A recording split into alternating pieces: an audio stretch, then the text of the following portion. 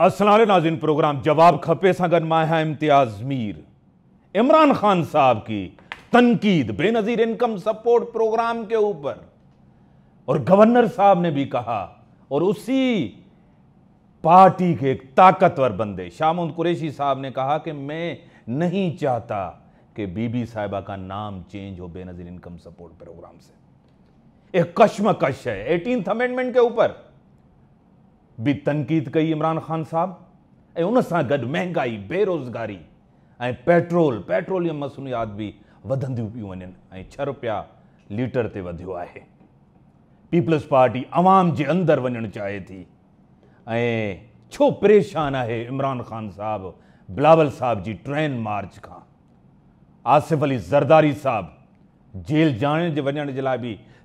तैयार है पर उन सां बिलावल साहब ने एक बड़ी इंपॉर्टेंट बात कही कि मैं इसको क्या समझूं? एक भाई को रिलीफ मिला, दूसरे भाई का ईसीएल से नाम निकाला गया। क्या कोई डील हुकूमत नाकाम डिलीवर नहीं कर पा रही, या पीपल्स पार्टी और नून लीग इन मुल्क के अंदर तबाही करे वही हिते ॻाल्हाइण मोहतरम जनाब, doctor Mirza Ishtiaq Baig Sahab renowned journalist journalist भी आहिनि कॉलमनिस्ट भी आहिनि राइटर भी आहिनि ऐं चेयरमैन बेग ग्रुप भी आहिनि तमगाए इम्तियाज़ भी उन्हनि खे मिलियो आहे एफ़ पी सी सी आई जा सीनियर वाइस प्रेसिडेंट भी आहिनि पाकिस्तान पीपल्स पार्टी या सीनियर रहनुमा मैं आपको वेलकम करता हूँ अपने प्रोग्राम शुक्रिया। उसी के साथ गजाला सैफी साहिबा नून लीग की एम एन ए हैं बड़ी वोकल हैं। पीटीआई की सॉरी पीटीआई की बड़ी वोकल हैं। और खुल के बात करती हैं। बिज़नेस कम्युनिटी के अंदर भी उनका एक बड़ा कारनामा है। हमेशा जो है ना अपनी पार्टी को डिफेंड करती है। मैं आपको भी वेलकम करता हूँ अपने प्रोग्राम में। सर महँगाई बढ़ती जा रही है। बेरोजगारी बढ़ती जा रही है। दो वो दो इंपॉर्टेंट बंदों ने एक असद उमर ने कहा हाँ महँगाई बढ़ रही है। अब्दुल रजाक दाऊद साहब ने कहा हाँ महँगाई बढ़ेगी। कहाँ जाए हमाम ये तो दीवार पे लिखा है कि महँगाई बढ़ेगी। मैं भी ये कह रहा हूँ इकोनॉमिक्स के स्टूडेंट की हैसियत से क्योंकि जब डॉलर सैंतीस परसेंट बढ़ गया और रुपी सैंतीस परसेंट डेप्रीशिएट हो गया, उसके कदर में सैंतीस परसेंट कमी हो गई। तो आप जो तेल मंगा रहे हैं, या दूसरी चीज़ें इंपोर्ट कर रहे हैं, पहले एक डॉलर के लिए सौ रुपये देते थे और डॉलर की मद में अब आपको ज़्यादा पैसे देने पड़ रहे हैं। एक तो महँगाई का ये सबब है। दूसरी चीज़ जो है, जो उससे ज़्यादा मैं समझता हूँ ख़तरनाक है, वो ये है कि स्टेट बैंक ने अपने पॉलिसी रेट बढ़ाए हैं। तीसरी बार मुसलसल अनाउंस हुआ अभी चंद दिन पहले। जब उनके पॉलिसी रेट, जिसको डिस्काउंट रेट कहते हैं, बढ़ते हैं तो बैंक के लैंडिंग रेट बढ़ जाते हैं। अब बैंक के लैंडिंग रेट चौदह पंद्रह परसेंट हो गए अब आप मुझे बतलाएँ, मैं खुद सनतकार हूँ कि मैं कोई नई सनत, क्योंकि इमरान खान साहब ने जॉब्स देने के वादे किए हैं और बड़ी खुशाइन बात है, लोग मंतज़र थे, उम्मीदें लेकिन नई सनतें कौन लगाएगा? पंद्रह परसेंट मार्कअप पे और एक सौ पैंतालीस, एक सौ पचास डॉलर के ऊपर वो पे नहीं कर सकता बैंक को। तो एक तो ये कि सब चीज़ें ठप हो गई हैं। फिर वो नई नई ट्रांजैक्शन लॉ, मैं बिल्कुल अप्रिशिएट करता हूँ कि करप्शन को कर्ब करना, ये नालत नासूर हमारे साथ बहुत दिनों से चलता चला आ रहा था। लेकिन बिज़नेस में आपको सही फैसले करते वक्त कुछ मतदिल रास्ता भी इख्तियार करना पड़ता है ताकि मीशत पे असर न पड़े मनफी। अब क्या हुआ है? जो बेनामी अकाउंट हैं उनके लिए लॉ तैयार था आजकल में आने वाला था। उस लॉ के तहत अगर आपकी बेनामी ट्रांजैक्शन से कोई प्रॉपर्टी या मकान लिया गया right, वो जब्त किया जा सकता है। अब मैं ये नहीं कह रहा और मैं रिपीट करता हूँ मैं ये नहीं कह रहा है कि ये गलत आ रहा है। बहुत अच्छा कानून इसको आना चाहिए था बल्कि बहुत पहले आ जाना चाहिए था। लेकिन इसमें जो मसलियत है जो देखनी है हमने या हुकूमत को वो ये है कि अब लोगों ने हाथ हटा लिया है। अब कोई ट्रांजैक्शन नहीं हो रही है रियल इस्टेट की पिछले कई महीनों से। एक ट्रांजैक्शन नहीं हो रही है। ब्यूरोक्रेट डरे हुए नैप की वजह से बाईस ग्रेड के उन्होंने साइन करने रोके हुए हैं। बिजनेसमैन जो है वो वेट एंड सी में चला गया है। तो मैं ये कह रहा हूँ, ये बेचारे मेहनत भी कर रहे हैं। इनकी नीयत पे मुझे कोई शक भी नहीं है। मेरी कई मुलाकातें इमरान साहब से भी हुई, असद उमर साहब से भी, रजाक दाऊद साहब से भी। लेकिन ये जो सब चीज़ें हैं इनसे मैशियत जो है वो उठ नहीं पा रही। अब आईएमएफ की बात सुन लीजिए। आईएमएफ के पास आप जा रहे हैं और जाना है और जाना चाहिए। तीनों चीज़ें उनकी शरायत पे। नहीं उनकी शरायत पे। उनकी शरायत में जाना पहले इनकार क्यों? फिर हाँ क्यों? मैं आपको बतला देता हूँ। जाना इसलिए चाहिए कि आईएमएफ से सिर्फ़ पैसे लेना मकसद नहीं होता। बट आईएमएफ आपकी इकोनॉमी को एक ग्रीन चिट जब देता है तो फिर World Bank I IFC Asian Development Bank और दूसरे डोनर एजेंसीज भी आपको फंडिंग करते हैं और आप बॉन्ड वगैरह इंटरनेशनल मार्केट में कम मार्कअप के ऊपर लॉन्च कर सकते हैं। तो ये एक तरह का ग्रीन सिग्नल होता है। आईएमएफ ने अगर नहीं दिया आपको ग्रीन सिग्नल मीन्स आपकी इकोनॉमी जो है वो सेटिस्फैक्ट्री नहीं है। लेकिन मसला क्या हुआ है? इतना ज़्यादा घसीट दिया कि उनकी शराइ अब हम पूरी करते चले जा रहे हैं। बिजली की कीमतों को 25 परसेंट उनका हम जून तक बढ़ा के T N D losses transmission distribution losses जिसको कुंडा कहते हैं उर्दू में वो हम ज़ीरो कर देंगे। तो 25 परसेंट बढ़ा के सोलह रुपये का बिजली का एक यूनिट हो जाएगा कौन अफोर्ड कर सकता है? न सनत न कंज्यूमर सार्फिन। अच्छा उसके बाद फिर साथ साथ इन्होंने ये भी करा कि आईएमएफ ने कहा कि जी लैंडिंग रेट बढ़ा दें। जी आप उन्होंने लैंडिंग रेट बढ़ाने शुरू कर दिए स्टेट बैंक ने सब्सिडी विथड्रॉ करें। सब्सिडी विथड्रॉ होने लगे गरीब आदमी की। और एक बड़ी चीज़ है जो सबसे ज़्यादा ज़रूरी है इसमें वो है पब्लिक सेक्टर डेवलपमेंट फंड्स तरक्याती मंसूबों के फ़ंड बजट में होते हैं। हज़ार बिलियन थे फिर 645 बिलियन किए गए। ये वो फंड्स होते हैं जो नई मुलाजमतों इनकी इससे पैदा होती है। जब प्रोजेक्ट लाते हैं, हैं इंफ्रास्ट्रक्चर होता है रोड बनते हैं ब्रिज बनते हैं टनल बनती हैं तो लोगों को मुलाजमतें मिलती हैं बेरोज़गारी ख़त्म होती है। वो भी अब आपको कम कर दिए गए हैं क्योंकि आई एम कहता है आपके पास तो पैसे नहीं है करंट अकाउंट डेफिसिट को आप ब्रिज करें। तो ये बेचारे बहुत टाइट सिचुएशन में आ गए हैं। उसकी एक वजह तो ये भी है कि जाने वाली हुकूमत ने भी विरसे में इनको कोई अच्छा देखे नहीं गई दूसरी चीज़ ये है कि आई एम वगैरह में मेरा अगर मैं कहता तो मैं कहता पहली गो में जाती ताकि जो भी शराय एक बार में डिस्कस करनी थी। डिस्कस करके आई एम एफ़ का प्रोग्राम अब मेरे सर पे तलवार लटक रही है। मुझे ये डर है कि कल मैं मशीन मंगाता हूँ अपने फैक्ट्री में एक्सपेंशन के लिए तो आई एम एफ़ के कहने पर शायद डॉलर एक सौ का होगा। ये शायद डिस्काउंटिंग रेट लैंडिंग रेट जो है सत्रह परसेंट ना हो जाए तो सबने हाथ रोक लिए। ठीक है। फिर ये जो बिजनेसमैनों की ख़ास तौर से रियल इस्टेट ट्रांजैक्शन है, क्योंकि एक रियल इस्टेट सेक्टर से 40 दूसरे सेक्टर शोबे जो होते हैं, वो ताल्लुक़ होते हैं। सीमेंट का, सरिये का पेंट का, सरामिक का ये सब चीज़ें, ये सब रुके हुए हैं आज। और ये बड़ी तशवीशनाक बात है। इसके लिए वज़ी अजम साहब ने अभी दो हफ़्ते पहले फेडरेशन के बब से और चैम्बरों के सदूर से कहा था, क्या करें? हमने कहा सर एक नई एमनेस्टी दें दरवाज़ा खोलें। सत्तर साल से ये लोग बेनामी ट्रांजेक्शन कर रहे हैं। आपने बेड़ा उठाया है लेकिन सत्तर साल का जो गंद है इसको पहले निकलने का मौका तो दें। ठीक है आप एमनेस्टी दें। हाँ मैं मैडम आपकी तरफ़ मैशियत की हाँ सूरत हाल आपको बता दिया बेग साहब ने। और मैं इनसे कुछ थोड़ी सी एक दो चीज़ों के अंदर डिफ़र करूँगी। जो इंडस्ट्रियलिस्ट्स हैं आई डोंट नो कि इफ्तार साहब जो हैं इश्तियाक साहब जो हैं वो कितना ज़्यादा इख्तियार साहब। कितना ज़्यादा उसको डिफरेंटली ले रहे हैं।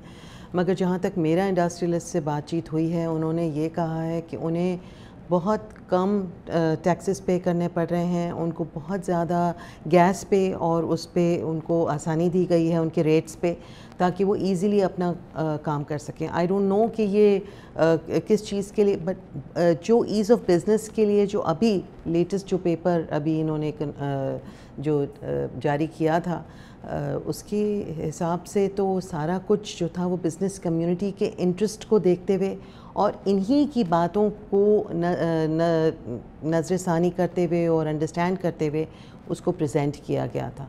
तो कोशिश तो पूरी की गई है कि इन्वेस्टर भी आए और ईज़ ऑफ़ डूइंग बिज़नेस भी हो और एवेन्यूज़ खुले इन्वेस्टर्स के लिए। और ये 160 पे कभी डॉलर नहीं जाने वाला। ये फ्लक्चुएट ज़रूर हो रहा है बट ये सेटल होगा और इन नीचे जाएगा ये डॉलर का रेट इतना ऊपर नहीं जाएगा। क्योंकि अनसर्टनिटी थोड़ी देर के लिए प्रिवेल होती है इतने सारे ट्रांजैक्शंस और चीज़ों के साथ और पेट्रोल की प्राइसेस के साथ। आज भी अभी अभी शाम को वो आया है पेट्रोल की प्राइस को थोड़ा सा उन्होंने कम कर कल जो बात हुई उससे आठ कम हो गया है। बट ये है कि at the end of the day investor तैयार है। इन्वेस्टर से क्यों नहीं रहा? इन्वेस्टर से क्यों नहीं, नहीं नहीं आएगा। आ रहा है और वो ये चाहता है कि नहीं बिल्कुल अनसर्टनिटी नहीं है। परेशानी नहीं, के। हनीमून पीरियड खत्म हो गया। देखिए as far as estate and property is concern yes there is a little concern but उससे इन्होंने सही कहा इख्तियार साहब ने कि जितने भी और बहुत सारे कंस्ट्रक्शन की जो इंडस्ट्रीज़ हैं वो उससे रिलेटेड होती हैं। जब तामीरात होती हैं तो उससे रिलेटेड जो भी चीज़ें हैं सीमेंट है सरिया है टाइल्स हैं और बहुत सारी फिनिशिंग प्रोडक्ट्स हैं उन सब की मांग बढ़ती है और फिर इस तरह प्रोडक्शन बढ़ती है और एवेन्यूज़ खुलते हैं एम्प्लॉयमेंट भी मिलती है नए प्रोडक्शन हाउसेस इस तरह की चीज़ों के खुलते हैं। वो सब अ, होगा इन बिकॉज़ हम इकोनॉमिकली इतना डाउन ट्रॉडन करके गई है पिछली वाली गवर्नमेंट आप भी तो कर्जों 40 पे चला रहे हैं। आप भी मैशियत कर्जों पे चला रहे हैं। आपने सबसे ज़्यादा कर्जा लिया है। इस टाइम के दौरान। बट हमारी जो इन लोगों ने हमें कर्जा दिया है उनकी वो शराइत नहीं है जो जो पिछली हुकूमत ने दो दफ़ा आईएमएफ पे गए और उन्होंने इतना ज़्यादा कर्जा लिया within span of five मानते हैं तस्लीम करते आप मानते नहीं थे तस्लीम नहीं करते थे हम नहीं जाएँगे? फिर आप गए। नहीं देखिए ना जब जब कोई चॉइस नहीं बची और उसके बाद आईएमएफ के पास जाना पड़ा क्योंकि आई जब आप इतना अंदाज़ा नहीं था कि माइनस माइनस पे इतनी ज़्यादा इकॉनमी छोड़ के गए। और इतनी ज़्यादा बुरी हालत थी इकॉनमी की कि जिसको जब, और फिर नॉट ओनली जस्ट इकॉनमी आपके जितने भी ऑर्गेनाइजेशन थी, जितने भी आपके शोबे थे हुकूमती, वो तमाम के तमाम उनके अंदर से पैसा बिल्कुल ख़त्म करके गए। कहीं पे भी आप तरक्याती काम नहीं कर सकते। फेडरल गवर्नमेंट जो है, वो बिल्कुल जब अपने तमाम सूबों को एटीन अमेंडमेंट की आपने बात की एटीन अमेंडमेंट एक बहुत अच्छी चीज़ है। और एटीन अमेंडमेंट होना चाहिए सूबों को इख्तियार मिलना चाहिए। सूबे जो हैं वो अ, उनको इस्तेकाम मिलता है एटीन अमेंडमेंट से। मगर एटीन अमेंडमेंट की बात भी की जाएगी कि अगर अगर प्री मेच्योरली एटीन अमेंडमेंट को एक्सेप्ट कर लिया गया और वो एक उ- उसकी वजह से लोगों को नुकसान हो रहा है और सूबे जो हैं वो अपना दिया हुआ फंड सूबे अपना दिया खुश हैं। अपना दिया हुआ फंड जो है यूटिलाइज ही नहीं कर पाते और उसको प्रॉपरली उस पर वर्कआउट ही नहीं कर पाते तो फिर there is a question mark question mark उठेगा कि जब आपको किस तरह खत्म करेंगे? आपके पास मेजोरिटी नहीं है। फेडरल आप किस तरह खत्म नहीं कर, रहे। कानून हम तो खत्म करने की बात नहीं कर रहे। एनएफसी कहते हैं पूरा पैसा सूबों को चला गया है। वफाक के पास कुछ भी कुछ नहीं वफाक के पास नहीं बचता ना। और फिर सूबे जो हैं उनको सही तरह से यूटिलाइज नहीं करते हैं जिसकी वजह से यूटिलाइज करना एक अलग बात है। होना। सूबाई खुद मुख्तियारी एक अलग चीज़ है मैडम। नहीं नहीं बिल्कुल नहीं ये सब एक दूसरे से कनेक्टेड है। आप इसको अलग नहीं कर सकते। आपने यहाँ जो जो तकरीबन एक सौ बासठ अरब रुपए उस बंदे को दिए हैं जिसके ऊपर ज़िम्मेदारी बनती है 12 मई की। सबसे ज़्यादा आपने इल्ज़ाम एम क्यू एम के ऊपर आपकी पार्टी ने, खान साहब ने लगाया था कि कराची का जो हाल किया है, उसने किया है, आपने उसको दिया। आपने गवर्नर के यहाँ एक कमेटी बनाई है जो गैर कानूनी गैर आइनी है। कमेटी नहीं बन सकती, वो फेडरेशन का नुमाइंदा होता है, लेकिन वो फ़ंक्शन नहीं कर सकता। ब्रेक के बाद ना ब्रेक का टाइम होगा, ब्रेक के बाद आता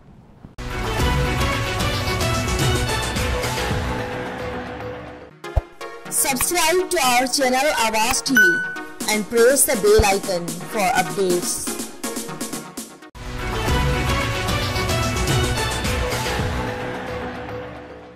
Welcome हाँ आपने एक सौ बासठ अरब रुपए और कह रहे हैं कि एक रुपया भी कराची को नहीं मिलेगा मुस्तफ़ा कमाल ने का। और आप वही तख्तियाँ लगा रहे हैं जो पहले मुस्तफ़ा कमाल ने बाग इब्ने कासिम में लगाई थी। खान साहब ने 12 साल पहले ये प्रोजेक्ट हुआ हुआ था, उस पर आपने तख्ती लगाई। कोई अपना प्रोजेक्ट क्यों नहीं लाते देखिए अगर आप अखबार आपने पढ़ा है आज का हाँ। तो उसमें आप मुस्तफ़ा कमाल का भी आप देख रहे हैं उसमें आप ये opening 12 of साल पहले। परवेज मुशरफ और इशरतुल बाद ने का किया था नहीं तो आप जो है आप किसकी बात को अ, मान रहे हैं और किसकी नहीं मान रहे हैं? आप तो सर हुआ है पूरा ये ज़मीन पड़ी थी खाली हमने खुद इसके ऊपर शोज़ किए हैं जाके मैडम तो ये हमें भी पता था खान तो- साहब को पता नहीं था जिसने 22 साल जद्दोजहद की। तो आप एक पॉइंट पे एम क्यू एम को बोल रहे हैं बुरा और दूसरे पॉइंट पे आप बोल रहे हैं पी पी टी आई को गलत कह रहे हैं। मुझे समझ नहीं आ रही आप कहना क्या मैंने कहा कि ये पहले का प्रोजेक्ट था आज आपने उसका इफ्तिताह किया इसको बेहतर करने के लिए आपने एक सौ बासठ अरब रुपए उसको दिए हैं जिसके ऊपर 12 मई का इल्ज़ाम है जिम्मेदार हैं। तीसरी एक बात सौ बासठ रुपये डायरेक्टली किसी की जेब में नहीं जाएँगे। एक सौ बासठ आप एमएनए के थ्रू लगाएँगे। किसी के जेब में डायरेक्टली नहीं जाएगा, ना एमएनए की जेब में जाएगा और ये स्टैंड है पाकिस्तान तहरीक इंसाफ का और चेयरमैन का और प्राइम मिनिस्टर का कि जैसी लोकल बॉडी इलेक्शंस होंगे, चाहे कोई भी आए उसमें पार्टी लोकल बॉडी में, उन्हीं के थ्रू पैसा जाएगा तरक्याती मनसूबों का। ये उनका वादा है और उन्हीं का इरादा है। वो नहीं चाहते कि एम और एमपीएस का काम असल में पॉलिसी मेकिंग है और चूँकि ये दगरगू हालात हैं और कराची इस कदर बुरी हालों में है। इसलिए ये ज़रूरी था कि किसी तरह से फेडरल गवर्नमेंट की इंटरवेंशन हो ताकि कुछ किस तरह? ना आप सीएम को देंगे ना बिल्कुल मिलेंगे। आपने, आपने बिठाया नहीं मीटिंग एनएफसी एनएफसी जो है वो सुबह से नहीं काटा जाएगा। 120 अरब रुपए का आज भी कह रहे हैं 120 अरब रुपए आपने नहीं दी this is the fund that is going to come for Karachi sir clarity नज़र नहीं आ रही। डायरेक्शन का पता नहीं। खान साहब करना क्या चाहते हैं? मैशियत खराब है। छाछरों में जलसा। दो हफ़्ते तीन हफ़्ते के अंदर दो जलसे किए। घोटकी के अंदर जलसा छाछरों के अंदर जलसा। गवर्नमेंट है। गवर्नमेंट जलसे थोड़ी ही करती है सर। देखिए पहली चीज़ तो ये है कि ये अक्सर कहा गवर्नमेंट क्यों कर रही है? वो भी गलत कर रही है। वो आपके खिलाफ कर रही है। ये अक्सर कहा जाता है कि इमरान साहब का एज ए पोजीशन एक बेहतरीन किरदार था और वो ही यूज़ टू सो मच कि वो कंटेनर और पोजीशन की सियासत अभी तक उससे निकल नहीं सके कि वो हुकूमत अब उनकी है और अब उनका एक दूसरा रोल है। लेकिन मैं आपकी उस बात पर आऊँगा जो आपने सवाल किया कि एक सौ बासठ, एक सौ चौंसठ अरब रुपए का जो आप कह रहे हैं। देखिए, इससे पहले नवाज़ शरीफ साहब भी कराची के लिए पैकेज अनाउंस करके गए थे। वो भी कराची को नहीं मिला। के पास ही खर्च नहीं हो पाते पूरे। तो बच भी जाते हैं। लेकिन मरकज़ के पास जो है वो शॉर्टफॉल है। तो अगर मरकज़ के पास शॉर्टफॉल है फंड्स नहीं है आईएमएफ ने पाबंदी लगाई हुई है, तरक्याती मनसूबों के लिए एलोकेशन के लिए तो फिर जो माजी में जिस तरह से ऐलानात करके नवाज़ शरीफ साहब कराची के लिए जो उन्होंने पैकेज दिया था और फिर वो नहीं मिल सका कराची को तो ये कराची के साथ बड़ी बदनसीबी है कि इसको ओनरशिप कहीं पे नहीं मिली, किसी पार्टी ने नहीं दी जिसको वोट दिया गया हो या जिसको सर आपकी ग्यारह साल से हुकूमत है। बिलावल साहब मैं मार्च भी मैं कराची की ग्यारह साल का हिसाब आप मैं कराची की जनरल बात कह रहा हूँ। क्या पीपल्स पार्टी ने डिलीवर किया कराची बड़े बड़े आज भी 80 90 परसेंट लोग गटर का पानी पीते हैं सर। देखिए पहले तो ये है कि कराची में एम क्यू एम को मैंडेट हमेशा मिलता रहा। एम एम क्यू एम ने अपनी आज़ादाना हुकूमत रखी। मुशरफ के दौर में आपको पता है सब कुछ। फिर कहीं पे इलाहाक भी उन्होंने हमारे साथ किया। हमारी जो मैंडेट थी ज़्यादातर वो रूरल एरिए की थी। रूरल रिप्रेजेंटेशन थी हमारे पास ज़्यादा।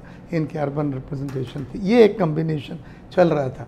लेकिन जिसको भी मैंडेट मिला या नहीं मिला, कराची के साथ वाकई में ये बात मैं जो कहते हुए कोई झिझक नहीं है कि ओनरशिप किसी ने ली और कराची को जो पूरे मुल्क की इकॉनमी का बैरोमीटर है। यानी अगर पाकिस्तान की इकॉनमी को देखना है तो कराची की इकॉनमी को देख लें पाकिस्तान की इकॉनमी पता चल जाएगी। जो सत्तर फ़ीसद टैक्सेस यहाँ से देता है उसका हक तो इससे बहुत ज़्यादा है। ज़्यादा बनता है।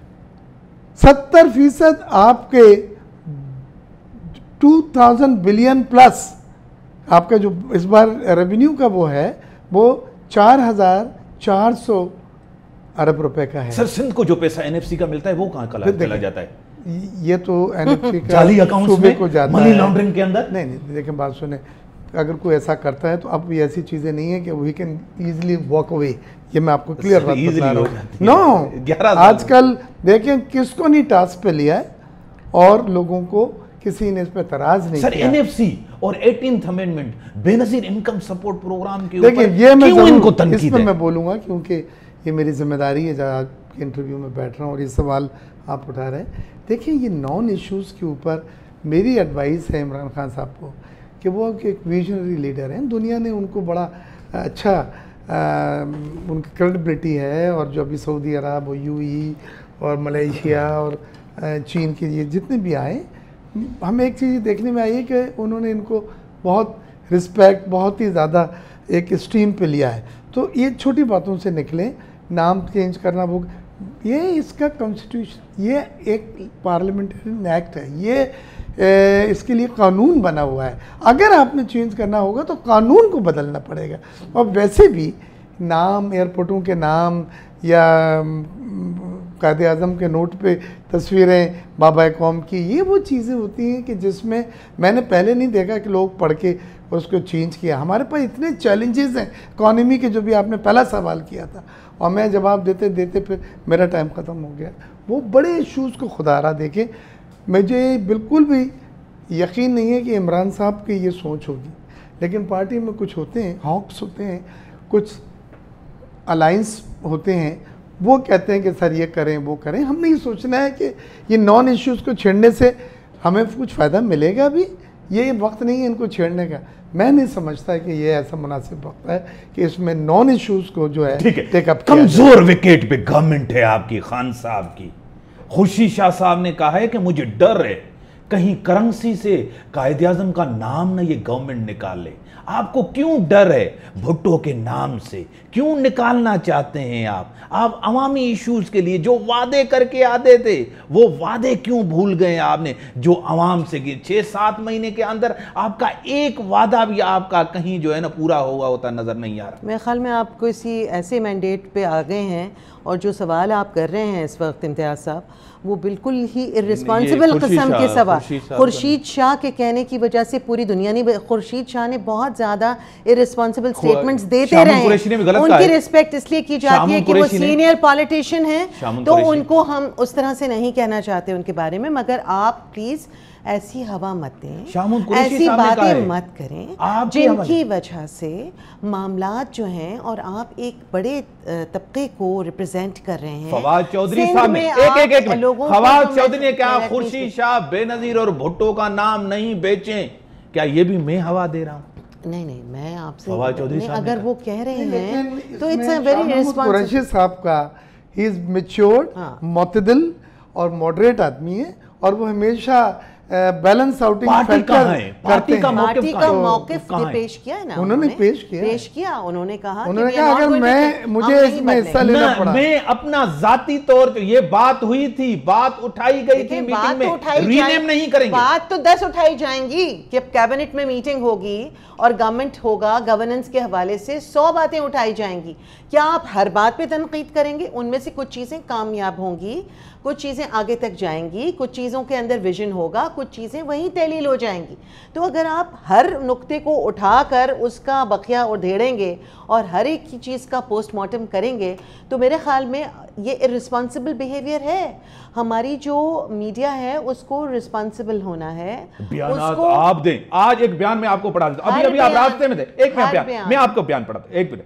आपके शामुन कुरैशी साहब ने कहा था, ऐसे बंदे को सरकारी मीटिंग्स में नहीं बिठाएँ जो 62 वन एफ़ के ऊपर नाहल है ये तोहीन है। किसके लिए? जहांगीर तरीन ने। ये भी हम मीडिया उठा रहे हैं। भाई अगर आपस में ये भी हम चीज़ें सर कर रहे हैं। मीडिया से बात वो करें टॉक शो हम करें तहरीक इंसाफ की कयादत खान साहब मीडिया पे नाराज़। आपके साथ जब होते थे जब आप तनकीद करते थे हम आपके एक एक अल्फाज को हम नशर नशर करते थे। उस टाइम हम सही थे आज हम गलत।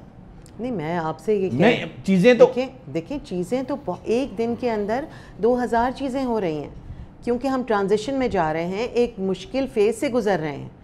और मोस्ट डिफ़िकल्ट फ़ेज़ है ये, क्योंकि जैसे जैसे वक्त बढ़ रहा है, लोगों की आगही बढ़ रही है, लोगों की डिमांड्स बढ़ रही हैं, लोगों की ज़रूरियात की उनको समझ आ रही है, वो सिर्फ़ कुछ रोटी, कपड़ा और मकान नहीं चाहिए, उनको और चीज़ें भी चाहिए ज़िंदगी में। और अभी बेसिक नेसेसिटीज़ जो हैं वही कंप्लीट नहीं हुई हैं इतने सालों में। तो इन आवाम जो कि पूरी दुनिया अब एक ग्लोबल विलेज का एक कॉन्सेप्ट आया और उसके बाद फिर टीवी और टेलीफोन के थ्रू दुनिया के बारे में सबको सब कुछ पता है।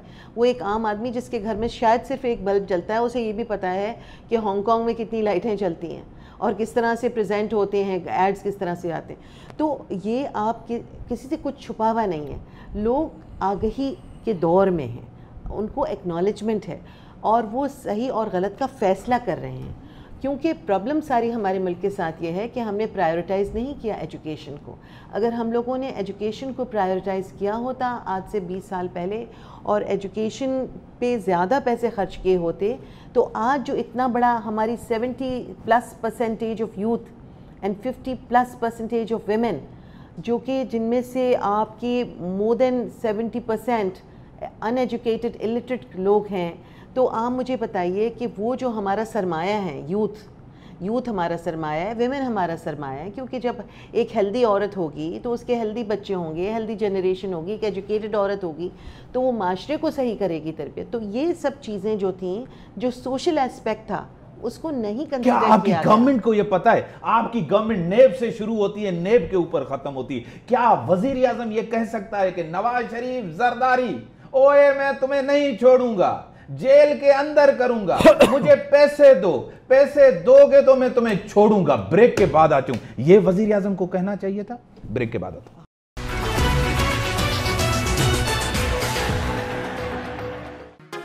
Subscribe to our channel Avaz TV and press the bell icon for updates.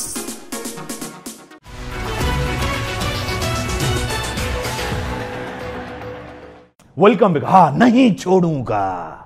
वो तो छूट रहे हैं छूट गए हैं। कब की क्या बातें हो रही हैं क्या चीज़ें हो रही हैं? क्या कहेंगे? व्हाट इज़ द क्वेश्चन मैं यही कह रहा हूँ ना आप किसी को धमकी क्यों दे रहे हैं? इमरान खान किसी को क्यों धमके? अगर वो असरअंदाज इदारों के ऊपर नहीं है अगर इदारे आज़ाद हैं अगर नेब आज़ाद है। तो नैब आज़ाद है और आपको पता है नैब आज़ाद है? उस पर क्या क्वेश्चन पाकिस्तान में कभी नेब आज़ाद रहा है मैडम? अभी तो आज़ाद है। अभी आज़ाद है। आज़ाद है और ये ज़रूर है कि तमाम धड़ों को वो इन्वेस्टिगेट कर रहे हैं चाहे वो पाकिस्तान तहरीक इंसाफ हो चाहे वो पीपल्स पार्टी हो चाहे वो पी एम एल एन हो। अ, मगर इसमें यह है कि जब पी पी टी आई का कोई आदमी उसकी लपेट में आता है तो बहुत अच्छी बात होती है। बिल्कुल सही हुआ ऐसे होना चाहिए था। मगर जब पीपल्स पार्टी या पी एम एल एन के किसी बंदे को जो कि गवर्नमेंट में रह चुके हैं और जिनका ज़्यादा हक़ है जवाबदही का और अगर उनके ऊपर कोई किसी किस्म का आता है इस किस्म के एक्विजिशन तो वो बर्दाश्त नहीं होते। तो हमें ये मानना पड़ेगा और हमारी जो गवर्नमेंट है उसका जो पहला एजेंडा है जो फ़र्स्ट प्रायोरिटी में नंबर वन है वो है फाइटिंग अगेंस्ट करप्शन करप्शन ठीक है? पहला। और वो कर रहे हैं। आपने जो अभी ये बात कही अभी आपने ही जुमला बोला था आप देखेंगे बाद में तो आपको शायद याद आएगा कि आपने ही कहा कि कुछ नहीं हो रहा कुछ पता नहीं है कहाँ जा मतलब ऐसा कुछ नहीं है। जो फैसले हुए हैं उन्हीं पे कर सबका एहसाब करा इंटरनेशनली हमारा देखिए इमेज सबका बेहतर हो रहा देखिए है इमेज बेहतर हो रहा है। अ, हम इतनी पिछली गवर्नमेंट के पास तो फॉरेन मिनिस्टर भी नहीं थे। अब फॉरेन मिनिस्टर हैं जो कि उसको बहुत अच्छी तरह से हैंडल कर रहे हैं। आपका रीजनल जो है जो इंडिया ने जिस तरह से किया, उसको जिस तरह से जवाब दिया गया और जिस तरह से हैंडल किया गया, मेरे ख्याल में उस, उसका पहले कोई मिसाल नहीं मिलती। जंग से आपने कोशिश की है अपने मुल्क को बचाने की, दो न्यूक्लियर पावर्स किसी भी तरह से मुतहमल जो नेबर्स हों मुतहमल नहीं हो सकती। एक ऐसी आलमी जंग की कि जिसका कोई ख़त्म होने के चांस नहीं होंगे। क्योंकि जब वो चलती है ऐसी जंग तो वो फिर ख़त्म नहीं होती और वो फिर न जाने किस लेवल पे चली जाती है।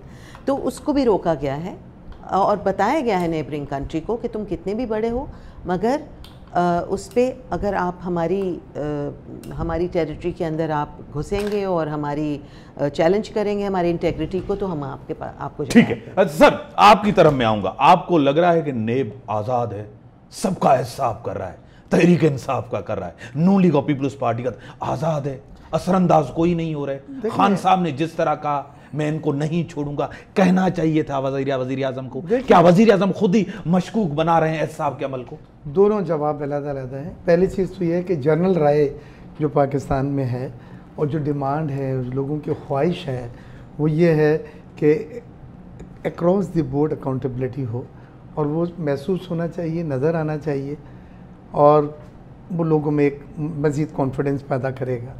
तो मैं समझता हूँ कि ये लोगों की जो डिमांड बिल्कुल जायज़ है कि अक्रॉस द बोर्ड अकाउंटेबिलिटी हो वो किसी पॉलिटिकल एफिलिएशन से हट के अगर किसी ने करप्शन किया है must be taken on task ये तो एक बात है हमारी पॉलिसी स्टेटमेंट भी है। जो दूसरा सवाल आपने क्या किया था? नेब के हवाले सबका सबका हो रहा है साहब।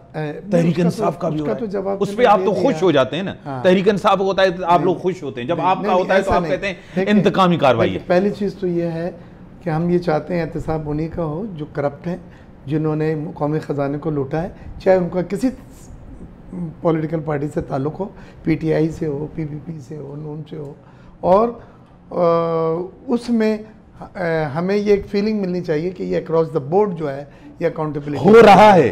तासुर है ऐसा। सही है, लोग देख रहे हैं इस तरह। तासुर एक अलग चीज़ होती है ख्वाहिश लोगों की और एक परसेप्शन जो है वो अलग चीज़ होती है।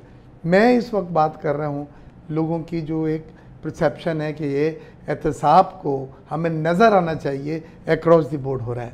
अब ये नैब वो इदारा है, जिसकी अब ये ज़िम्मेदारी है कि इस लोगों की डिमांड को, लोगों की सोच को पूरा करे। कि हमें ये ख्याल ना हो कि ये ख़ास तबके के लिए या एक ख़ास पार्टी के लिए किया जा रहा है। इससे ज़्यादा मैं सेंसिटिव क्या? मैं आपको एक चीज़ बताऊँ सर। इस मुल्क के अंदर कोई भी पार्टी हो इन जनरल मैं आपको बता रहा हूँ अपनी जात अपनी पार्टी की सियासत करते हैं। मुल्की मुफादात कहाँ होते हैं?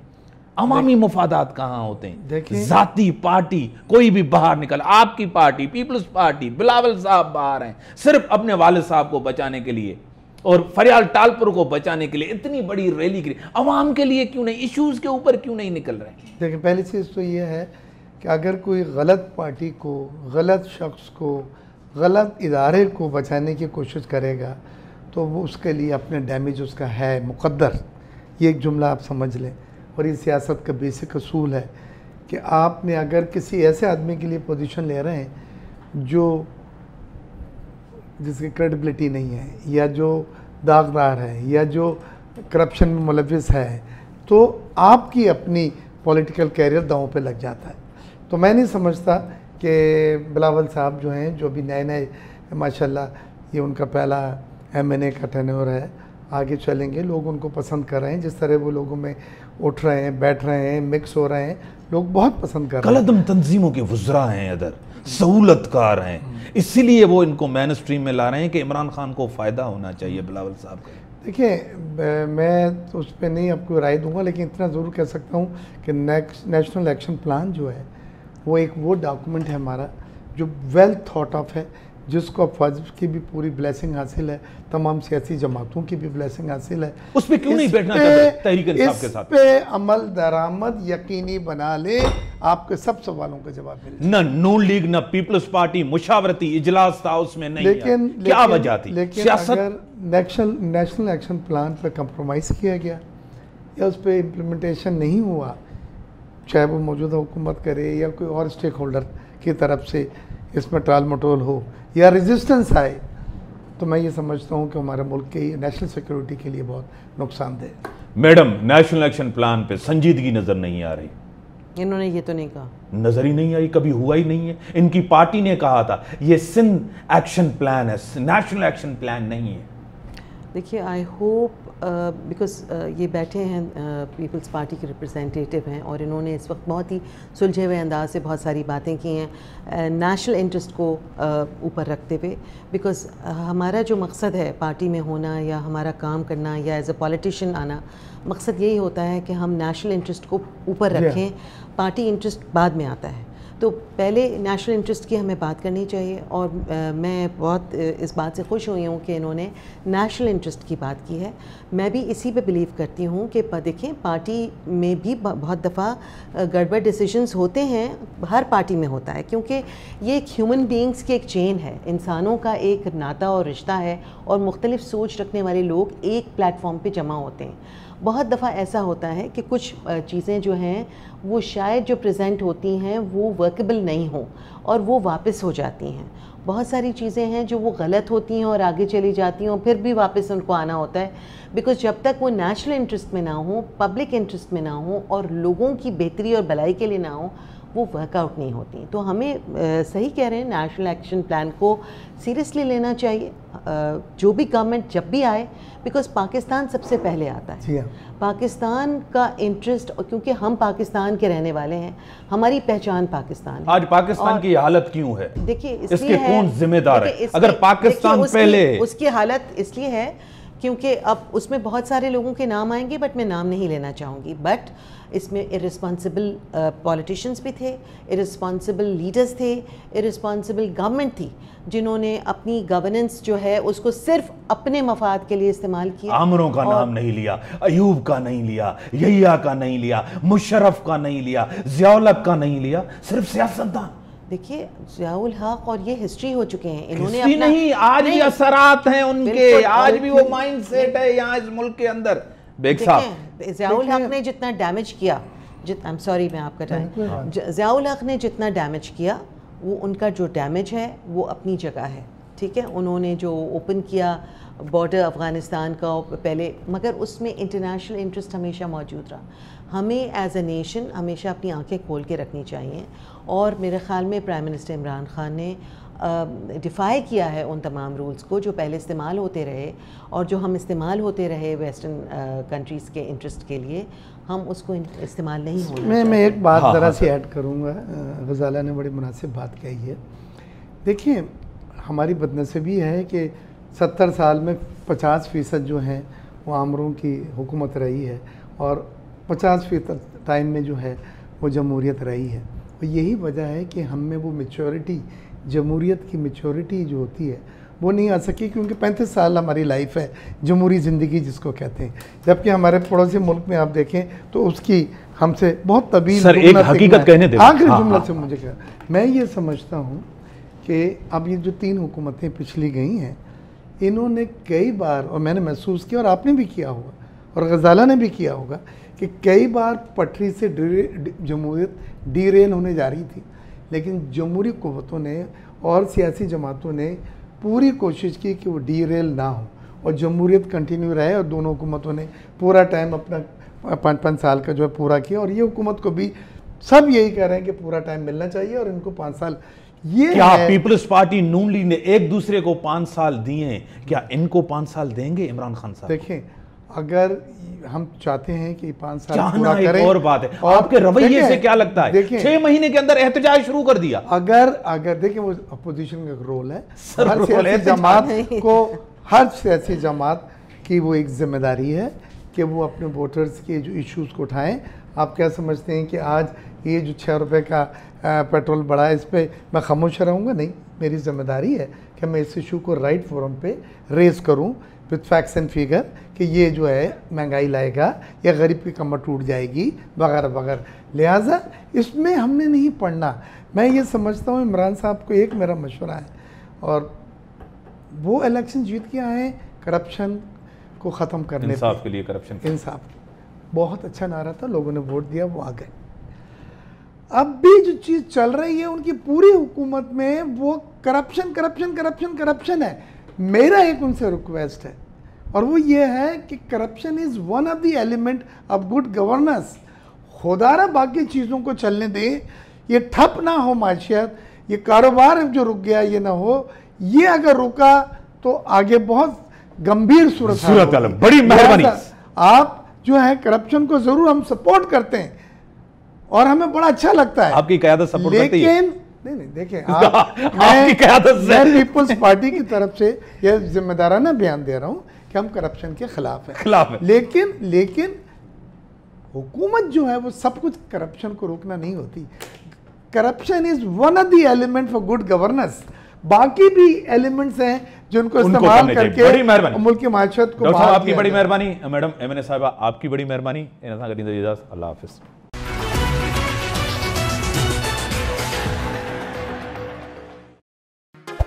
Subscribe to our channel Avaz TV and press the bell icon for updates.